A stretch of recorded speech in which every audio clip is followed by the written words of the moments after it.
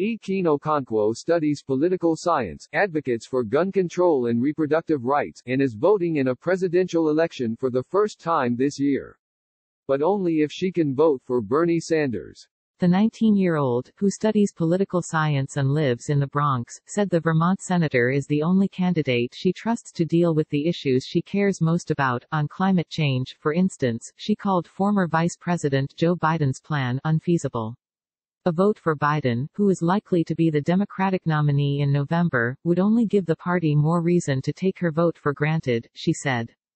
If we lose to Trump then hopefully within the next four years maybe an AOC or Rashida Tlaib would be able to run, Okonkwo said, referring to Alexandria Ocasio-Cortez and another progressive politician who has gained popularity in the last two years. Maybe there would be a better chance to save the planet. Okonkwo is not alone in her unequivocal and uncompromising support for Sanders.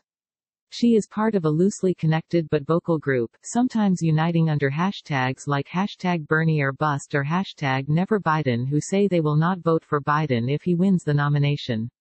While it's nearly impossible to know how large the group is, hundreds of people have shared this sentiment, including progressive political candidates.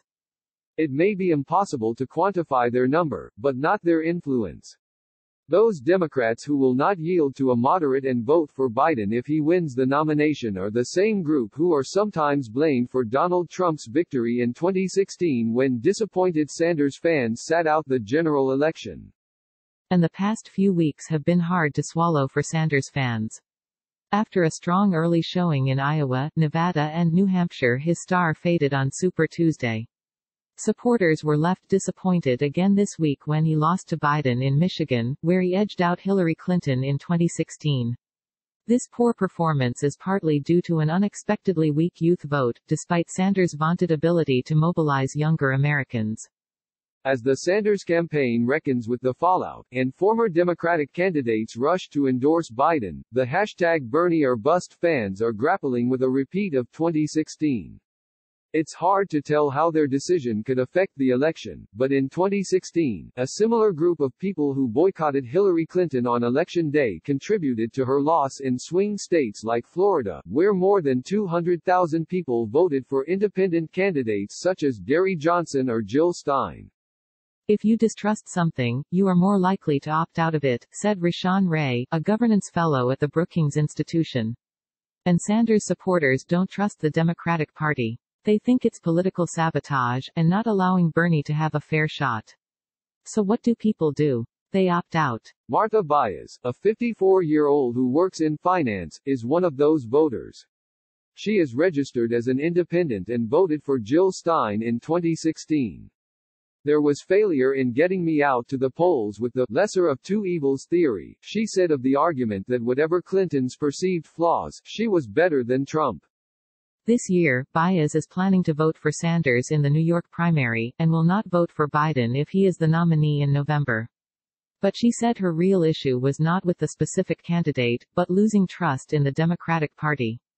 I don't think that I should put aside my values and vote out of fear, she said. The DNC needs an overhaul, it lacks values, real leaders that represent the people not its donors. The impact on the Supreme Court or other policies, she said, was not her responsibility. Why is that my problem, she said. Shouldn't it have been considered before selecting the chosen one? Will they try and flip the script and make it my issue or fault? Jessica Wright, an avid Sanders supporter in East Texas, tweeted that she was hashtag Bernie or bust after his Super Tuesday defeat in her state. She said she was angry that other Democratic candidates had dropped out just before the big primary day to endorse Joe Biden, and wanted the so-called Democratic establishment to know they were letting down people like her. Wright, 37, works at a hospital and said she and her husband live paycheck to paycheck. She said Sanders' policies would be the best for her family, including family members married to immigrants struggling to gain citizenship status in the U.S. But given that a Trump election could be worse, and herald new conservative court appointees and other harmful policies, she is still considering voting for Biden, or at the very least, voting down ballot in other, non-presidential races on election day. For me not voting would be to send a message, what you've done is not okay, Wright said. I wish there was a way to vote for Biden and still send that message. Stephen Ansolabehere, a Harvard government professor who studies political campaigns, said there is a similar sour grapes group during every election, even if it's not a big enough group to swing the result. But he said what determines whether or not Sanders supporters will show up for Biden depends on how the latter treats them in the coming months. When you lose your candidate, it's like a death in the family, he said. That's the bitterness of the emotions. Biden knows that bitterness so he could be empathetic and bring those people back to the fold. He gave the example of the 1988 Democratic primary, when frontrunner Michael Dukakis reached a compromise with his opponent Jesse Jackson by changing party rules to tie the delegate vote more closely to the popular vote, giving Jackson a partial victory.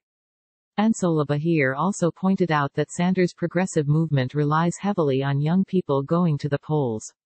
But even if they are politically engaged, this subset of voters consistently deals with more hurdles to register to vote because of restrictive voting policies around address changes and identification.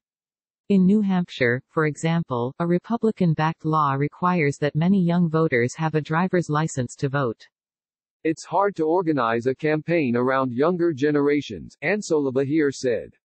You only have 50% chance of being registered when you're 18 years old and that could have played a role during Super Tuesday, when youth turnout ages 18 to 29 was only an estimate D 14% in Virginia and 5% in Tennessee, according to a Tufts University exit poll.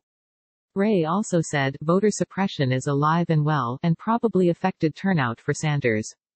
But he said that the group that is more likely to determine the election is the 11% of white voters, mostly suburban and often women, who switched from Barack Obama in 2012 to Trump in the last election.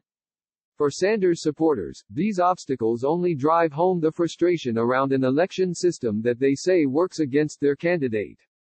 Habiba Chowdhury, a Sanders supporter who was canvassing in Michigan, saw the long polling station lines firsthand on Tuesday in Sanders-friendly communities like Dearborn and perceived this as a way to rig the election in favor of Biden. The New York-based 28-year-old, who identifies with the hashtag Bernie or Bust movement, said the senator's message resonated with her family, Bangladeshi immigrants who share a one-bedroom apartment in Queens. Sanders seemed to be the only candidate whose policies could ease the plight of her father, a taxi driver dealing with healthcare issues, and her sister, who is straining to pay back student loans. Enough is enough, we tried the neoliberalism and we're sick and tired of it, she said. Sanders gave me and other people that voice. Nevertheless, Chowdhury said, she would follow Sanders' lead when it came to voting in November. In 2016, the senator accepted defeat after the primary, and went on to endorse Hillary Clinton in the presidential election. I know Bernie is super consistent, she said. His supporters are gonna come out for Biden.